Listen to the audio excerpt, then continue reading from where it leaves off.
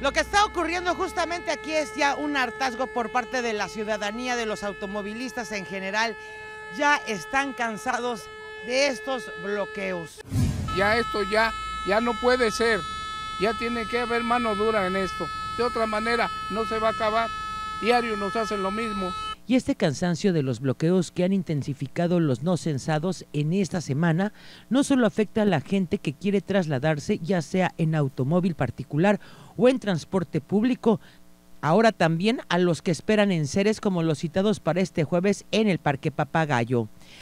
Porque los bloqueos y nosotros qué culpa tenemos si tenemos ya todos los papeles que él nos firmó que hoy, hoy día 20, ¿qué? 22 nos iba a entregar y nos citó a las 6 de la mañana.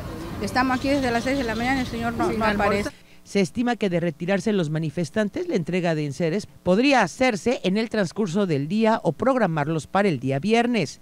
Mientras tanto, por la mañana de este jueves, personas no censadas o con alguna incidencia nuevamente tomaron ambos sentidos de la avenida Cuauhtémoc a la altura de la calle Juan Sebastián Elcano por no decir la grosería que es correcta, y nos quitaron los papeles, nos piden dos números, su credencial, la copia de la CUR y el comprobante de domicilio, ¿y qué hacen? No los tiran a la basura, no nos dan respuesta. Desde el día, desde el mes de noviembre andamos. De manera simultánea, un grupo menor se plantó sobre la costera Miguel Alemán, obstaculizando el sentido al centro. Sin embargo, no hubo tanta convocatoria, por lo que algunos automovilistas aprovecharon huecos para salir avante.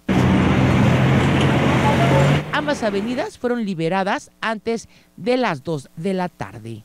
Jairo Méndez Imágenes, RTG Noticias, Mau.